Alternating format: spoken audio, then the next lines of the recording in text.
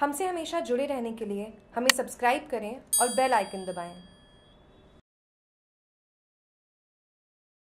Video conferencing में भाजपा के संवाद से युवाओं में उत्साह का संचार। जोधपुर भाजपा के राष्ट्रीय अध्यक्ष अमित शाह के आज के राजस्थान प्रवास से युवाओं में नए उत्साह का संचार हुआ है। अमित शाह आज जयपुर से राजस्थान के सभी 200 विधानसभा क्षेत्र के करीब दो लाख से अधिक युवाओं से मुखातिब हुए। इसको लेकर युवा वर्ग में जोश का संचार हुआ। युवा मोर्चा के मीडिया प्रभारी जितेंद्र शर्मा ने बताया की इस दौरान कई युवाओं ने अमित शाह ऐसी बातचीत की। इसका उन्होंने जवाब दिया। शाह के इस कार्यक्रम को जोधपुर के महेश्वरी भवन में देखा गया, भाजपा युवा मोर्चा अध्यक्ष महेंद्र तंवर के नेतृत्व में आयोजित इस कार्यक्रम के दौरान युवाओं को मार्गदर्शन मिला। इस दौरान अनेक पदाधिकारी और मोर्चा कार्यकर्ता मौजूद रहे।